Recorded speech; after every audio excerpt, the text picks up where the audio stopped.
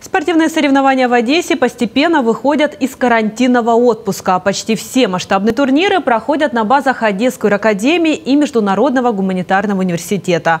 Вслед за состязаниями по боксу и борьбе в ход пошли стремительные валанчики от бадминтонистов. Примечательно, что первым стартом после реконструкции в спорткомплексе МГУ сразу стал крупнейший в нашей стране международный турнир «Одесса Open 2020», проходящий при поддержке Украинской морской партии Сергея Сергея Кивалова. Подробности в нашем сюжете. Увидеть легионеров на турнирах во время пандемии – это настоящая экзотика. Бадминтонисты из Китая, Сингапура, Дании, Бельгии и Молдовы стали первыми ласточками после длительной карантинной паузы. При этом, по словам организаторов, на Одесса Open были соблюдены все санитарные нормы и проведены необходимые тесты. But I think uh, summer, uh, summer maybe is hold up the badminton match in Odessa. But I think it's very, very nice. Uh, maybe the summer the Odessa is very very very beautiful. И, и вот это badminton jam is very very nice.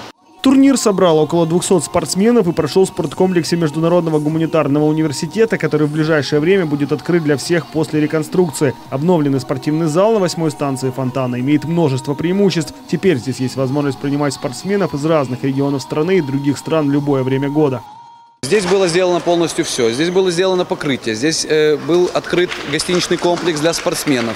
Здесь полностью поменялась мембрана накрытия спорткомплекса. И сегодня мы здесь можем проводить турниры не только зимой, э, точнее, мы можем проводить турнир не только летом, но, но и зимой. Здесь полностью поменена система отопления. Після реконструкції це перші змагання, які проводяться, і сам вперше бадмінтон в Одеській області. Тому це дуже мені приємно. І ми спілкувалися десь дві неділі назад з Сергієм Васильовичем Ківалом. Говорили про те, що цей зал вже буде працювати взимку. Е, є тут підігрів зроблений вже, тобто він продуманий вже не тільки як така в більшості була літня площадка, а й зимова площадка. Ну і дуже приємно, що сьогодні до нас з'їхалася вся Україна.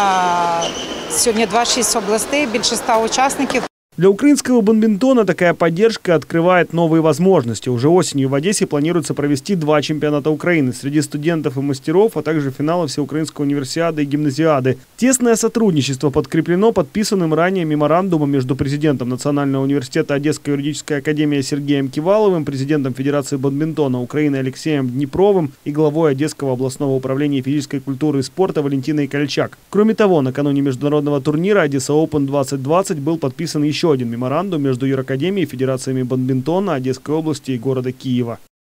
Огромная благодарность Сергею Васильевичу Кивалу, что он создал э, все для того, чтобы тут не только бадминтон развивался, а вообще спорт. Это такой городок, который будет привлекать сюда все больше и больше спортсменов. А, значит, э, то, что он тепло относится к этому виду спорта, э, сам зал об этом говорит. Он новый, великолепный. В этом зале можно проводить любые турниры гран-при уровня Европы, мира. Постоянное развитие спортивной инфраструктуры в вузах мотивирует как профессионалов, так и аматоров. К сожалению, не все спортсмены из других стран смогли приехать в связи с ограничениями пандемии. 170 человек к нам приехало на этот турнир. К сожалению, из-за коронавируса должно было быть больше. Заявлено просто все из-за границы. Спортсмены, которые хотели, они не смогли пересечь границу. На данный момент мы видим высочайший уровень э, подготовки, организации данных мероприятий. Этот э, турнир действительно нет слов сказать, что слова благодарности организаторам. В прошлом году Кубок Черного моря 2019 по бадминтону собрал более 200 спортсменов из 13 стран мира. Одесса Open – это только первый шаг в открытии нового интересного сезона. Члены сборной команды уже готовятся к международным стартам, но календарь будет составлен ближе к сентябрю.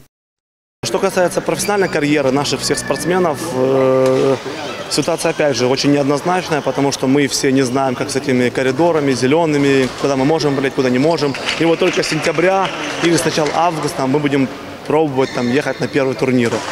Участники турнира уверены, что впереди много новых побед и успехов, а главное, бадминтон в Украине становится все популярнее, а значит, олимпийские вершины наших спортсменов все ближе. Дмитрий Богомолов, Валерия Бабина, Юлия Пальнова, телеканал «Репортер».